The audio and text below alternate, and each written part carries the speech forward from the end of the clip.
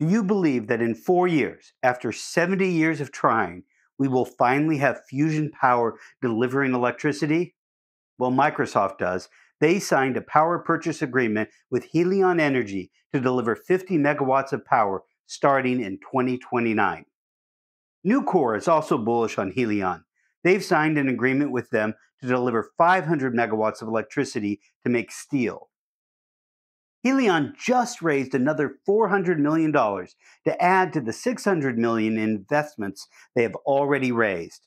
So some people with deep pockets think they're onto something. Are these investors crazy? Can it be that close? After saying that fusion is 30 years away and it always will be, will we really have fusion powering data centers and making steel in just a few years? Or is this just another empty promise? Welcome to the third video in the Decarbonize series on fusion. If you aren't clear what fusion is, I recommend starting with my first video in this series. Today, we'll talk about Helion Energy, I think the most intriguing company in this space. That's because their approach is so different from everyone else's. Rather than deuterium and tritium for fuel, they plan to use deuterium and helium 3, Rather than contain the plasma in a magnetic donut or slam a pellet of fuel to implode it, they slam two magnetically contained plasma rings at each other. Rather than taking heat and converting it to steam and generating electricity with a turbine, they generate electricity directly. If you want to see an innovative approach to fusion power, you can't beat Helion. Unlike Commonwealth fusion systems that I spoke about in my previous video, they're not building their first prototype, but their seventh. Their approach is so innovative, they can't leverage decades of publicly funded research, but must figure out almost everything in house. And yes, there has been some research into their approach, but a small fraction of what's been spent on tokamaks like Commonwealth Fusion or inertial confinement like First Light, which will be my next video. But Helion does have two things in common with Commonwealth Fusion systems bold proclamations not backed up by data, and a successful track record of raising money. They're taking that money and building Polaris, which aims to be the first fusion system to generate electricity. But Polaris will consume much more electricity than it generates, so this is not a commercial reactor, just a step in that direction. So let's look at Helion's approach, and we'll start with talking about the different possible fusion reactions. The most popular fusion reaction on Earth, by far, is based on the two forms of heavy hydrogen readily available deuterium, or D, a hydrogen nuclei with one proton and one neutron, and the much more difficult to obtain tritium, or T, with one proton and two neutrons. When the D and T fuse, you get a helium 4 nuclei and a single neutron. 80% of the energy is carried away by the uncharged neutron. Since the neutron is uncharged, it flies right out of a magnetic bottle unaffected. In most reactors, it's slowed and then captured in some kind of liquid blanket like the fluorine lithium beryllium molten salt used by Commonwealth fusion systems. After depositing its heat in the blanket, the neutron is then captured by lithium 6, producing a tritium atom to be used as fuel. May also be captured by the beryllium, which then emits two neutrons increasing tritium production. The second reaction is to fuse two deuterium nuclei together in a DD reaction. But unfortunately, this reaction only emits about 20% of the energy of the DT reaction. Half of the time, you get a neutron and helium 3, and the neutron will escape the magnetic fields and the energy will be lost. And half the time, you get a proton and tritium. Helion plans to use this reaction to generate the helium 3 they need, which might be easier than mining it on the moon. Then we come to the third fusion reaction, the one Helion plans to use to generate electricity, deuterium and helium 3, which produces a proton and helium 4, and a bit more energy than the DT reaction.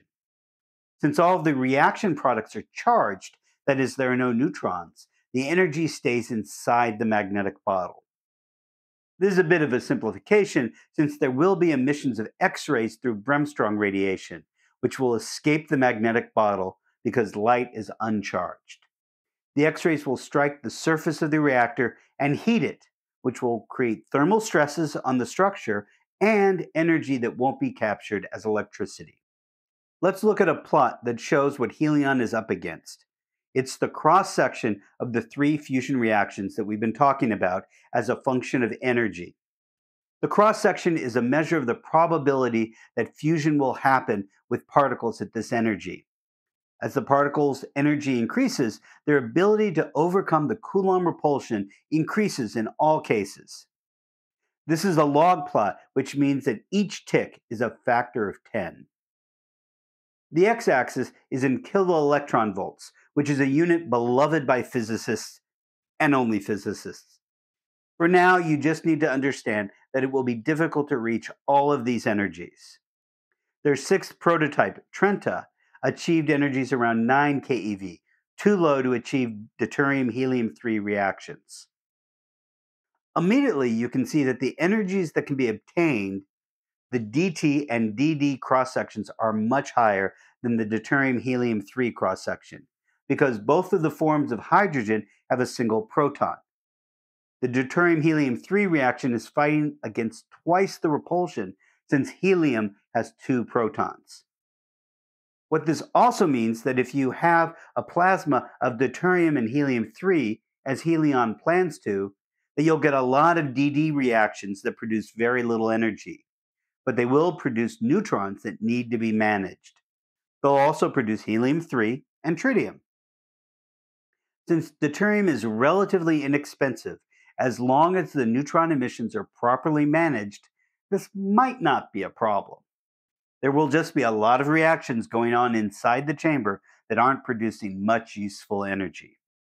What I haven't talked about, what is so different about Helion's approach, is how they create the hot, dense plasma and how the energy is removed from the plasma and generates electricity.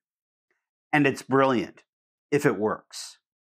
It's what's called field reverse configuration, or FRC, which is among the least useful names around. I'm sure it makes sense to a plasma physicist, but to this mere astrophysicist, the name means nothing. The Wikipedia article doesn't even attempt to explain what the name means. But it's enormously cool. On one side of the machine, they inject the fuel as a cool gas.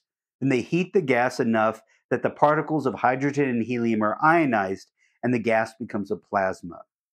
Then the magnetic fields start to do their magic, turning the plasma into a rotating ring, then pushing and squeezing this ring until it's moving at a million miles an hour.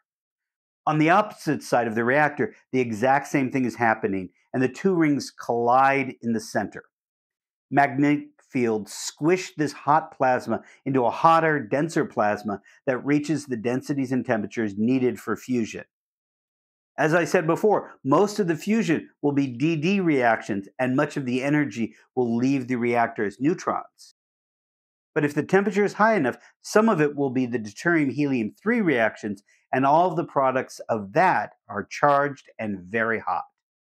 This hot plasma expands as hot gases do, and the expanding electrically charged plasma pushes against the magnetic fields, and this drives currents in the conductors that were used to generate the magnetic fields. The currents generated will be higher than those used to generate the magnetic fields that triggered the fusion in the first place. And those currents can be used to charge the capacitors that were used to trigger the reaction. If all goes well, the energy in the capacitors at the end of a pulse will exceed the energy that was used to generate the pulse. Some of this energy can be siphoned off and converted to AC power to send to the grid, while the rest of the energy is used to generate the next pulse. If this sounds immensely complex, it is. No one has ever built a power plant remotely like this. But the physics does pencil out. This isn't magic or make believe, just really hard engineering. For instance, Helion has found that they can't buy capacitors that meet their needs, so they're making their own. And it could lead to a much smaller reactor because you don't need to boil water to generate steam to run through a turbine that's actually a pretty clever way to make a peaker plant because you could theoretically turn it on and off very quickly. much more quickly than a thermal plant that needs to boil water. It might make sense to run the reactor with just deuterium when demand for electricity is low and produce helium 3, and then switch to deuterium helium 3 when electricity is needed. So let's look at Helion's sixth prototype, Trenta, which ran from 2020 to 2022. They performed over 10,000 shots. For Trenta, they just used deuterium as fuel as it's readily available and inexpensive, and it has a fairly high cross section. The ions achieved an energy of 9 keV, not nearly hot enough for the deuterium helium 3 reactions, but they did get fusion of deuterium and deuterium. As I said above, this isn't a good fuel. It doesn't generate a lot of energy, but it is good for running a prototype. They detected loads of neutrons, confirming that they were getting fusion. They showed that the nuclei were nine times hotter than the electrons. This might not sound important, but it actually is, because fusion is all about the energy in the nuclei, and the Bremsstrahlung radiation that I spoke of above comes from the electrons. So that the lower energy of the electrons means the plasma won't lose as much energy from Bremsstrahlung radiation as it would if they were the same temperature as the nuclei. Helion is now building their seventh prototype, Polaris. They claim that Polaris will be able to burn deuterium deuterium, deuterium tritium, and even deuterium helium 3. Whether they're able to get to the temperatures needed to burn a significant amount of helium 3 remains to be seen, and I'm a bit skeptical. Assuming a fuel mix of 50% deuterium and 50% helium 3, they'd need to reach an energy of about 35 keV for 10% of the reactions to be with helium 3 almost four times the energy reached by Trenta. The rest of the reactions will be deuterium deuterium, which generate very little energy that can be captured by Polaris. They plan for the first time anywhere to actually capture energy from fusion and generate electricity.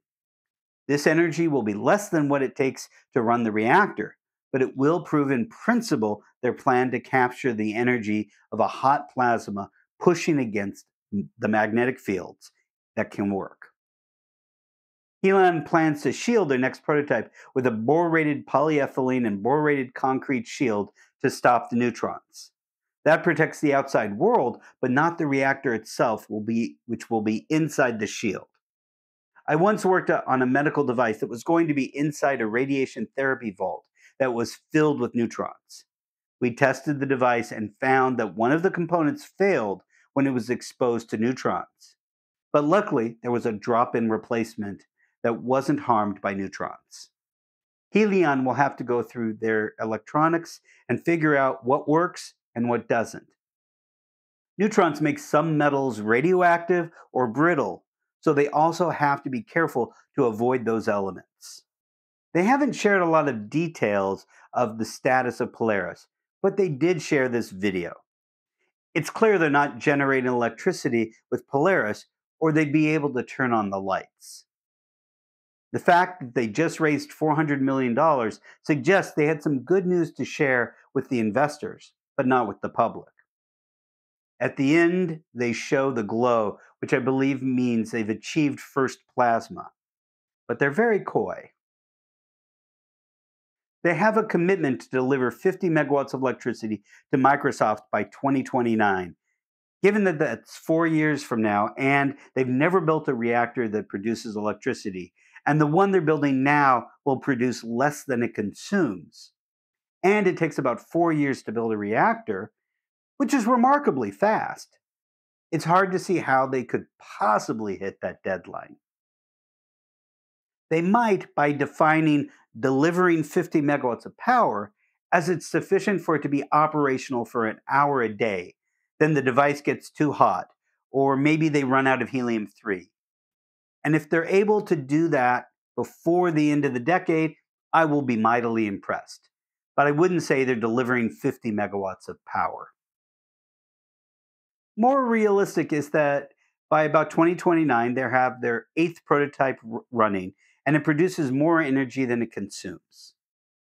And the fact is, if they figure out their helium 3 supply chain and how to build a reactor that can withstand the Bremsstrahlung and neutron radiation and run for 20 hours a day by 2033, that would be huge. But it's not just about getting a single plant working, but can you build a lot of them? Because as far as decarbonization is concerned, the question isn't who's the first to deliver power, it's the first to deliver a lot of power. And to do that, it needs to be cost competitive and not very hard to produce in high volumes. Helion scaling will have some of the same problems as Commonwealth Fusion Systems has, though maybe not as bad. There are a lot of companies that build things similar to their capacitors and other components that they might be able to leverage to scale up quickly. I see fewer elements that will be as hard to scale as the lithium 6 or the su- superconducting magnets that Commonwealth Fusion Systems will need. But if their base design is 50 megawatts, it would take 20 units to equal 1 gigawatt, which is the output of a typical nuclear fission plant. Even if they were shipping a 50 megawatt plant once a week, it's just a drop in the bucket. So, will fusion be powering data centers this decade? I highly doubt it. But what Helion is doing is real and interesting, and they've made impressive advances. The people investing with them know they'll probably fail, but if they do succeed, Helion will be a trillion dollar company. Since you got to the end, probably makes sense to like and subscribe. If you'd like to support my channel, you can buy me a Guinness. And you can click here to see more of my videos on nuclear fusion. And please forward this video on to anyone you know who doesn't understand the difference between fusion and fission.